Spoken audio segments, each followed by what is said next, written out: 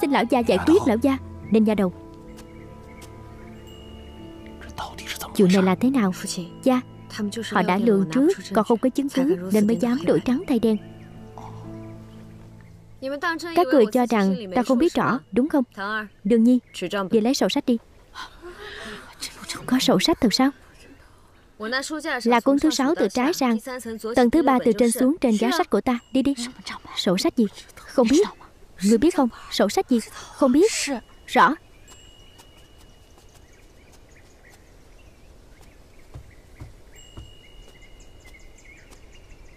Tập thơ năm. Có sổ sách thật kìa Để ta xem nào. Sinh nhật 18 tuổi của ta. Cha tặng ta một miếng ngọc bội hồng ngọc như ý. Một bộ điểm thúy. Cha, cha xem Còn nhớ có sai không? Để ta xem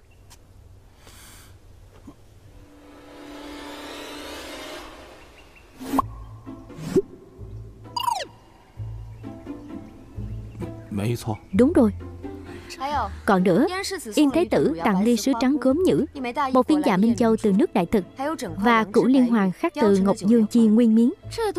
Thứ này là nhà quan chế tạo ra, nếu có kẻ nào không có mắt mang đi cầm cố, chỉ e là bị đưa tới quan phủ.